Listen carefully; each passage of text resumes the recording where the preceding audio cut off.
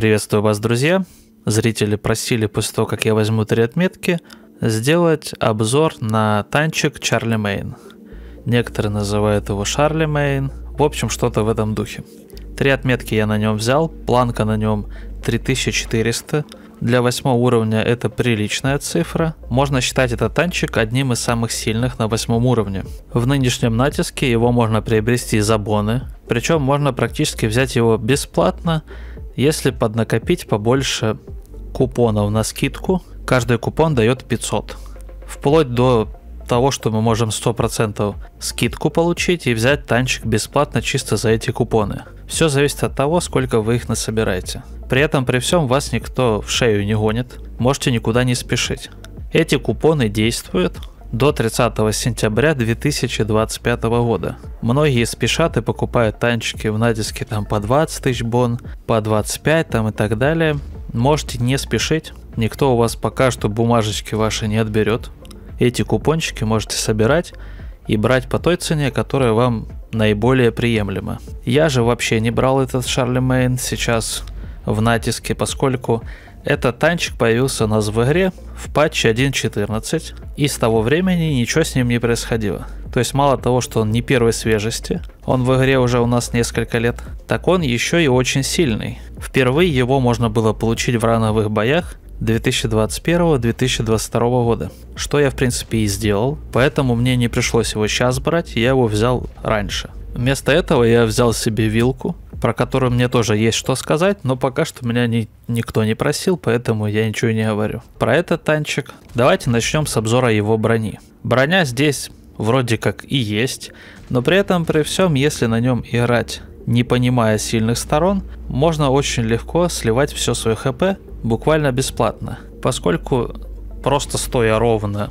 без каких-либо там наклонов, ромбиков, холмиков, рельефиков, у нас ВЛД 215 мм в нижней части, и это, мягко говоря, мало. Во лбу башни у нас 170-200 мм вокруг маски, что тоже как бы не внушает доверия. А вот НЛД 230 мм, и здесь, если мы встретим кого-то в топе ниже нас левелами, и они будут на ББшечках играть, можем что-то потанковать. А вот чтобы танковать в ЛД, нам нужно уже использовать рельефы, наклонять танчик, тогда танчик начнет танковать. Также у нас еще щучий нос. Если мы доворачиваем корпус, то ближняя щека у нас становится все те же примерно 215 мм, а вот дальняя щека становится уже получше. Но кто же в нее будет стрелять? Только если случайно. Поэтому в основном наш танчик танкует, если играть через рельеф. Но как ни крути, все равно тонкая броня вокруг маски никуда не денется, что бы мы ни делали. Также на башне есть еще лючок, который несложно пробивается, но в него еще нужно попасть. В целом броня есть, но на некоторых картах, на некоторых позициях нужно понимать, что танчик танковать не будет. А вот через рельефики при помощи наших УВНов можно и нужно танковать. ДПМ у нашего танка скромный 1700, пробитие основной ББшкой 220, альфа 440, пробитие специальной ББшкой, тут две ББшки, 270. Я люблю ББшки, это очень хорошо, что здесь их две. Моих любимых снарядов в два раза больше, чем обычно. Фугасики пробивают у нас всего лишь 60, их нужно возить немножко, чисто чтобы картонные танчики пугать. Стабилизация у нашего танка более-менее нормальная. От поворота башни 0.08 это в принципе хорошо. А вот от поворота и движения корпуса 0.15. Поэтому во время того, как мы целимся, крутим только головой, корпус стараемся оставить в покое хотя бы на время выстрела. Точность у нас 0.42, это прям ужасно. Но стабилизация и справедливые вертухи нам помогут наносить урон. Запомните, что это танчик для ближнего боя, именно там он лучше всего себя раскрывает. Стоять куда-то что-то кемперить это почти бессмысленно. Во-первых, точность 0.42, ДПМ 1700, а в-третьих, скорость полета снаряда 597 основной ББшки, что в принципе не играбельно ни на какой дистанции, только впритык. Это скорость, при которой наш наводчик при выстреле выходит из танка со снарядом в руках, идет пешком к вражескому танку, ложит его там куда-то, возвращается назад И вот такая вот скорость стрельбы. Попасть в что-то едущее еще и на расстоянии почти нереально. Это надо быть просто каким-то гениальным инженером, проводить там расчеты, куда стрельнуть. И нужно еще учитывать, что оно еще и летит навесом. И еще к тому же нужно учитывать, что если соперник остановится или куда-то повернет, все ваши расчеты потеряют смысл, поскольку снаряд так медленно летит, что соперник может и не доехать до вашего снаряда, который вы на ход ему пускаете. А вот если вы будете стрелять специальными ББшками с пробитием 270, скорость полета снаряда 924. Это уже более чем играбельно, даже можно на дистанции куда-то там с упреждением стрельнуть. В принципе, грубо говоря, основная ББшка нам нужна, чтобы впритык расстреливать не особо бронированные танки, у которых легко попасть в уязвимую зону. Для всех остальных выстрелов нам нужна специальная ББшка, чтобы стрелять вдаль, чтобы стрелять в танки, у которых есть броня, чтобы реализовывать альфу и стабилизацию. Также нужно учитывать, что на некоторых картах и в некоторых позициях наша броня ничего не может, и нам приходится разменивать свое хп. Поэтому нам нельзя упускать ни один выстрел. Нужно каждый делать максимально и аккуратно, чтобы лишнего не получать, но и при этом больше стрелять специальными снарядами, поскольку основная ББшка очевидно, что реже пробивает, и если мы будем редко пробивать, наш маленький ДПМ превратится в около нулевой ДПМ, и мы не будем влиять на бои.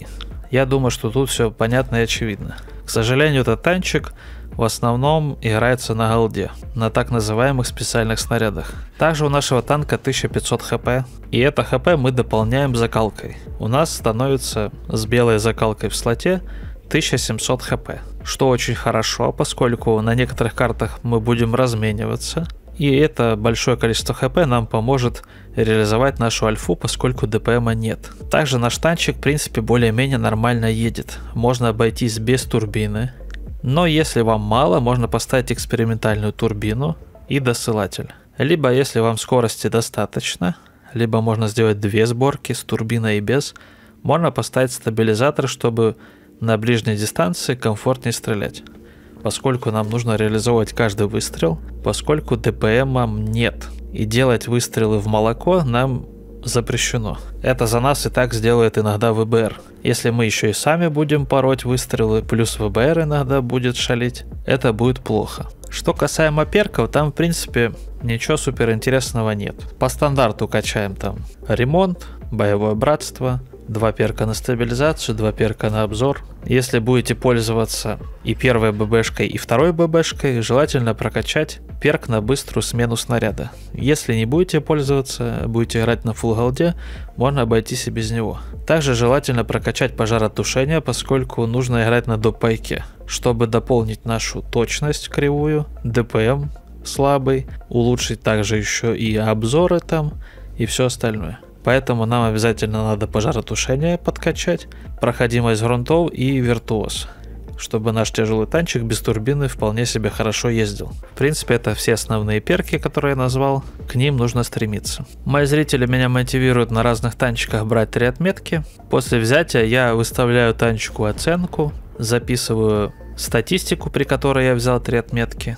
Так вот, Шарли Мейн получился у меня один из самых сильных танков за последнее время, на которых я брал три отметки. Его почти догнал Паттон 9 уровня, но все равно отстает. На Шарли Мейн у меня получилось процент побед 67, я играл один, без взводов, без ничего. Это очень хороший показатель для соло игры. Средний урон в районе 3000, и оценил я этот танчик 9 из 10.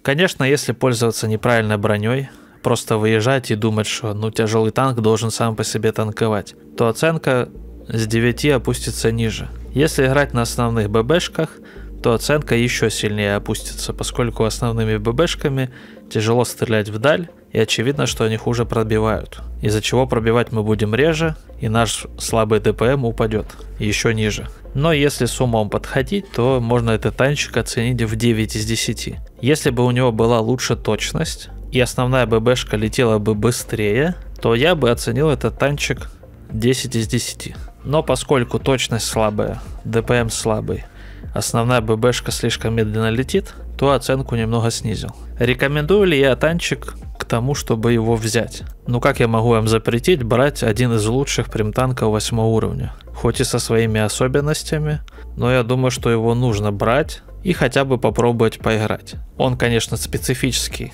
но очень сильный и хороший. Может, когда-нибудь поговорим еще и про вилку, но пока что зрители меня не мотивировали разговаривать про вилку и брать на ней отметки. На этом у меня все. Вот такой вот Шарли Мейн, который у нас спокойненько в игре находится уже несколько лет, в статусе очень сильного прептанка. С вами был Варчик, играйте красиво, подписывайтесь, ставьте лайки, всем удачи и пока. Куда пока? Полевая модернизация, вот она.